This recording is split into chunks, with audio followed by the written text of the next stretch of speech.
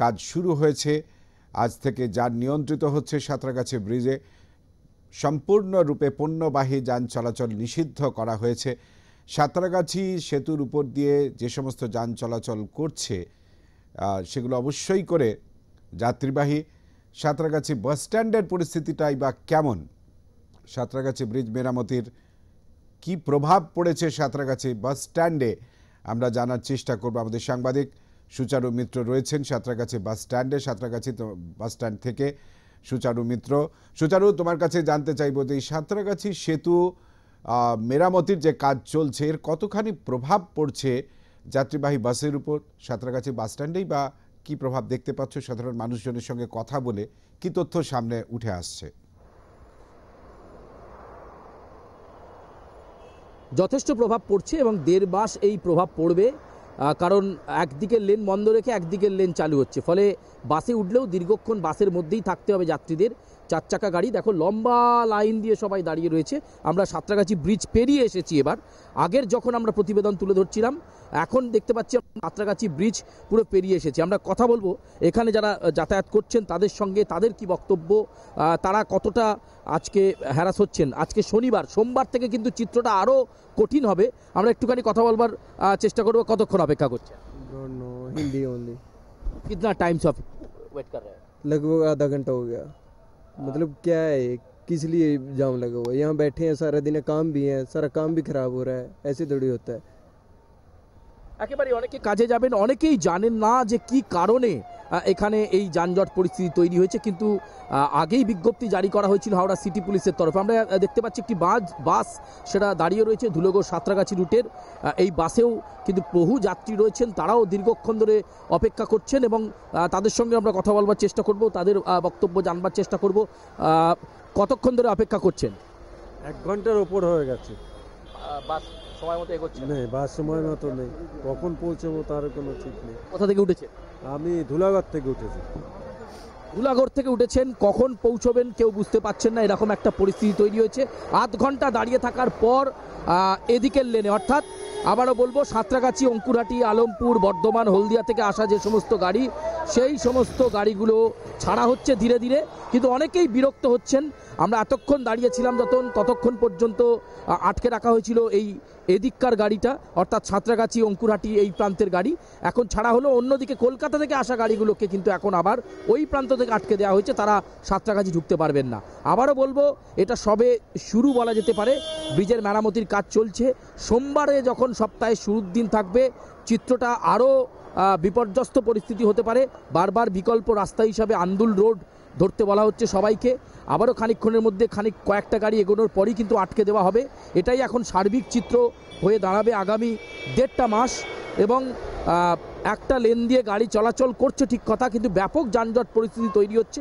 প্রত্যেককে এক থেকে দেড় ঘণ্টা অন্তত হাতে সময় নিয়ে বেরোতে বলা হচ্ছে পুলিশ প্রশাসনের তরফে। আমরা বাসের একজন যাত্রীর সঙ্গে কথা বললাম, আমরা কথা বললাম চার চাকা গাড়িতে একজন যাচ্ছিলেন, তার সঙ্গে কথা বললাম এবং সার্বিকভাবে এই পরিস্থিতি কিন্তু চলবে। এখন এদিকের লেন থেকে গাড়ি ছাড়া হয়েছে। দেখো কত গাড়ি আটকে ছিল, সেগুলো একেবারে হু হু করে বেরোচ্ছে। অপর প্রান্তের যে রাস্তাটা, ঠিক রাস্তার ওই পারের অংশ, সেখানে কিন্তু আবার গাড়ি রেস্ট্রিক্টেড করে দেওয়া হয়েছে।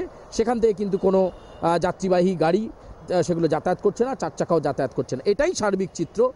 আমরা সকালবেলা যখন ব্রিজের ওপরের অংশ দেখাচ্ছিলাম, যে অংশে কাজ হচ্ছিল, তার পাশের একটা ছোট্ট একটা লেন শুধু খুলে দেওয়া হয়েছে। সেটা দিয়েই আপ এবং ডাউন। এই দুটো ক্ষেত্রে গাড়ি চলবে দেড় মাস। কিন্তু বারবার ওই একই, ভোগান্তি কিন্তু থাকবে এবং ব্রিজের গার্ডারের যা অবস্থা এক্সপেনশন জয়েন্টের যা অবস্থা, সেটা ঠিক করতে হবে।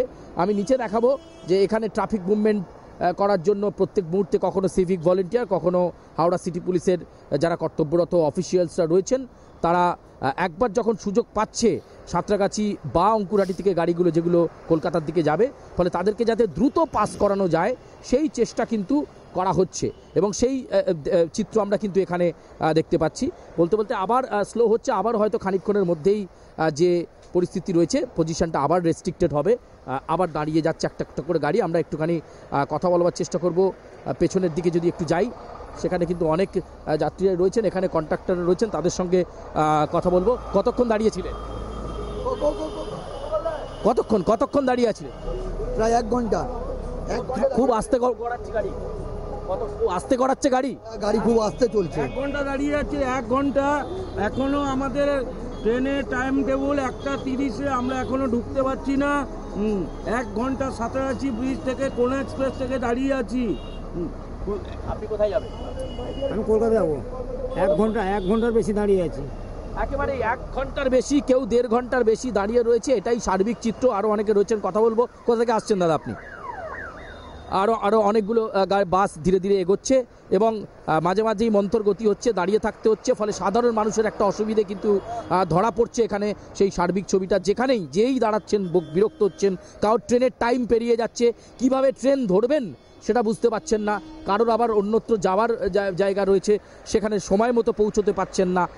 আপাতত এই ব্রিজ মেরামতির কারণে এই সার্বিক ভোগান্তিটা কিন্তু ভুগতেই হবে। আরও অনেকে রয়েছেন, তাদের সঙ্গে কথা বলবার চেষ্টা করব। অনেকেই অনেক দূর দূরান্ত থেকে আসছেন। কতক্ষণ অপেক্ষা করছেন? কতক্ষণ বাস এগোচ্ছে না কতক্ষণ অপেক্ষা করছে? কথা বলো কতক্ষণ অপেক্ষা করছে? দু ঘণ্টা। দু ঘণ্টা ধরে আমি বাজকুল থেকে উঠেছি। কতক্ষণ অপেক্ষা করছে? ওই দেড় দু ঘণ্টা।